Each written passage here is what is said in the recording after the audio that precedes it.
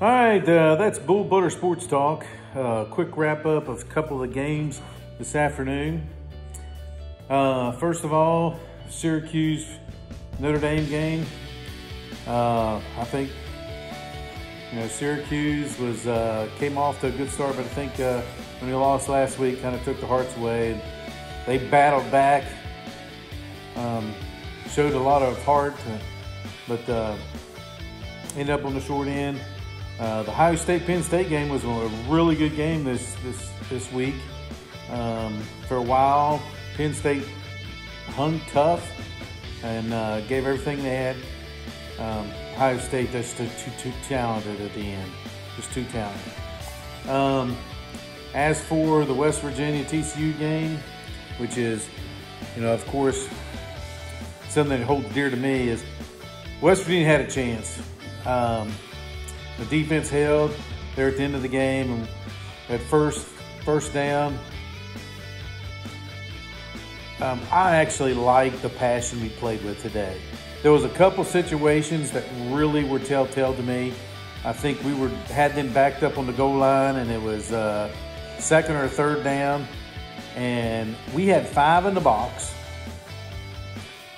They had seven in the box you're going to run the ball every time. They ran the ball, ended up getting out of that, and uh, drove down the field, at least got themselves out of uh, the goal line shadows. But we can't line up with five in the box to their seven. They're going to run the ball every time, and they're going to get positive yards on that. Um, I didn't mind the, the onside kick. I thought it was a little too early, but it ended up being well. We actually held them on defense. But then we come out, I mean, we're hurting um, at the running back spot. We're on our fourth string running back, which I kind of wonder why he was in the game anyway if the other kid was uh, healthy. Um, he drops the ball on the first down. Then we get sacked. We end up having to punt the ball. Um, just, I really like the passion we played with. I thought we were ready to play. You know, TCU is a good football team. They're ranked seventh in the nation for a reason. But we showed that we can play at a high level. Um, I really liked how Neal Brown got us ready for this game. Uh, defensively, though, we have got to do better.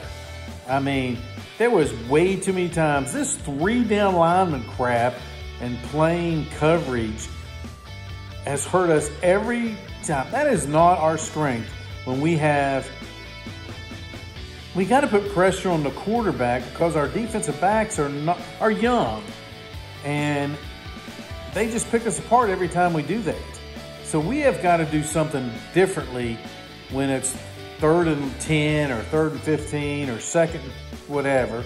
We can't, we got to get pressure on the quarterback to get it out of his hands quicker.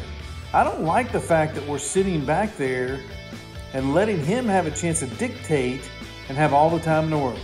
But this is just a quick rundown. I really like the progression that this year that we have shown a little bit, but I knew that we would be a little bit shaky on the defensive end, and we've um, Woods is a big improvement at corner. You could show that early when he's healthy. I mean, there was a big difference at the cornerback on his side of the field, both against the screen passes and against one-on-one coverage and press coverage. But we just are really young and really need to recruit a little bit more defensively. And I hate to look at next year, but our whole offense is back for next year. All of it. I mean, we may lose a lineman to the draft or whatever. And of course, we're going to lose somebody to the transfer portal. But our offense should be dynamic, especially if uh, TJ JT Daniels comes back. And even if he doesn't, uh, Nico, I think, will carry on that. There'll be a little struggle early. But our running backs and our offensive line and everything coming back, um, we just got to sound up our defense. We have to have some linebackers that step up. I, I think Koopa is a great linebacker. I think he's playing a little bit out of position. Um, but I think we get an edge rusher and a couple couple linebackers, and of course, we've got to get some defensive backs that can go up and press coverage and man up and just be physical with people. And with a, but I really liked what we did today offensively. I really liked more about the passion that we played for there early. Um, we didn't have it at the end, and um, but I like the development we're having. There's a lot of things that we can improve on, but I think fundamentally and everything that we've gotten, um,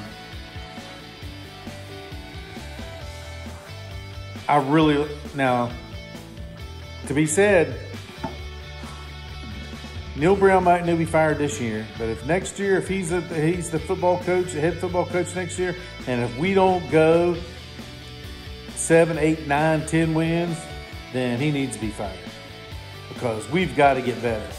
And I think he needs to make a big change defensively because this defensive that we're running, defense we're running right now, I don't understand what we're doing. I mean, we have got to be better, better defensively. And if that takes uh, cleaning house a little bit and find another defensive coordinator, but we've got to get players too. Uh, we lost a lot to the transfer portal last year, and we've got to get better on the back end. And for this, that's Bull Butter Sports Talk.